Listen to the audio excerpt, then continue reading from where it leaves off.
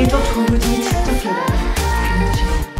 따뜻한 따뜻한 관심과 그림자 shading 덕분에 주경이와 만나는 얼마나 아름다운 만남입니까 여러분? 이렇게 하반기까지 와가지고 뭐 재탕도 아니고 이제 삼탕까지 그만 좀 우려 먹어라 라고 이제 생각을 하실 수도 있겠지만 예쁘게 봐주시면 정말 감사하겠습니다.